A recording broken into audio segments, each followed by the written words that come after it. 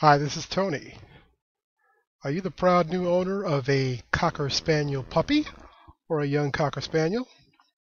They make wonderful pets. They're a joy to have around.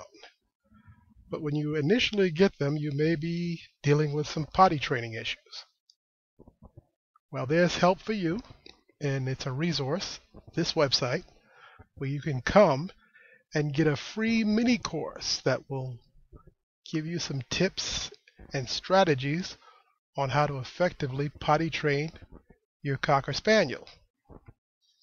Did you just find another puddle in your house, or did you walk into the living room and discover a pile of poop? Do you feel like you are spending all of your time taking the dog outside or cleaning up messes in the house? You are not alone, but you do not need to be in this situation. Your puppy or adult dog can be fully potty trained and you can be free of cleaning up accidents all the time.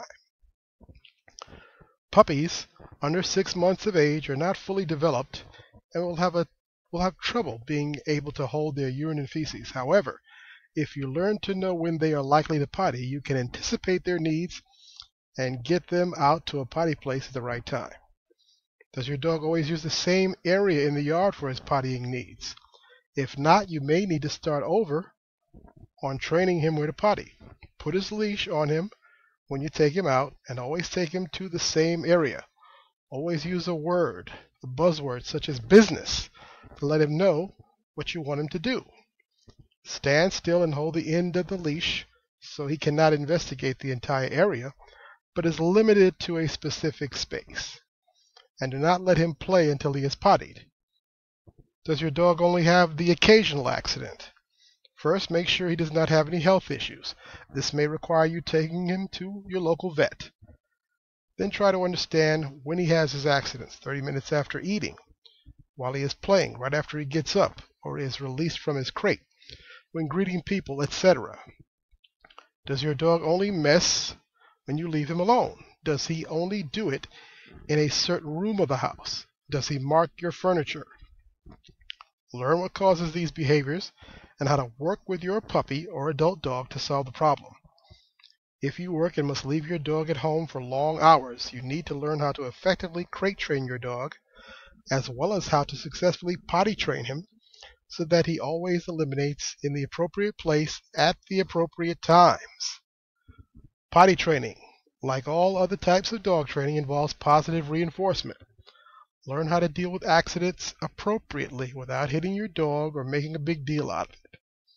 Some breeds are easy to house train as they don't like for their living quarters to be messy or smelly, or they really like to please their owners. Other breeds are more difficult to house break. Others may take a special type of house breaking. However, with patience and persistence, your dog can be house trained. Basics of potty training. It's important for your dog to have an established routine and for you to be consistent in your expectations of him.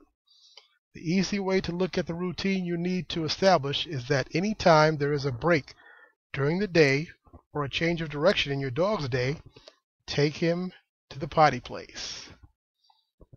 Five keys to your success are when your dog gets up, take him to the potty place.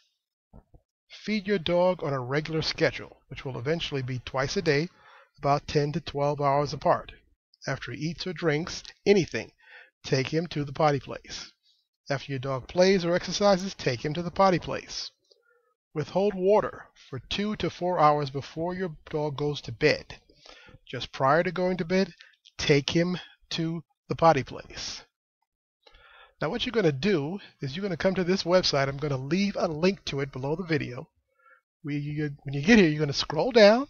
You're going to enter your name, your dog's name, and your email address. Hit subscribe, and they're going to send that mini course directly to your inbox.